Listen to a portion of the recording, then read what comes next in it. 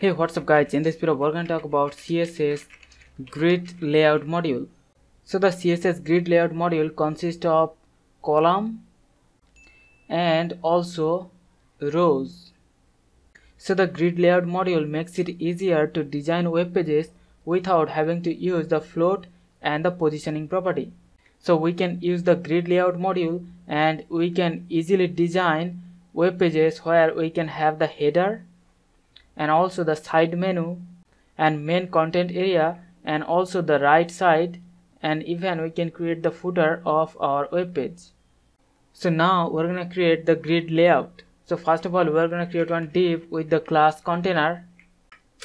And inside the container we're going to have the child div with the class item. So we're going to have item 1 item 2 item 3 item 4 item 5 and also we're gonna have item 6 so inside the parent container we are having 6 child element. Now inside the style tag we're gonna select the container and we're gonna use the display property as grid. So now our container will behave like one grid container. And now we can use the grid template column property.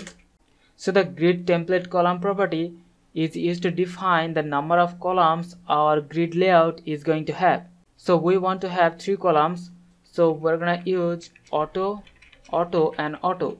So because we want three column layout that's why we are using auto auto and auto.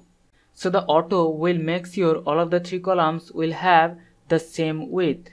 So instead of using auto we can also specify the width of our elements using pixels and now we're gonna set one background color of our grid container of light blue. And also we're gonna add some padding of 10 pixel. Now to style the child items we're gonna select the item and we're gonna add some background color of green. And also we're gonna add some padding of 20 pixel font size of 20 pixel.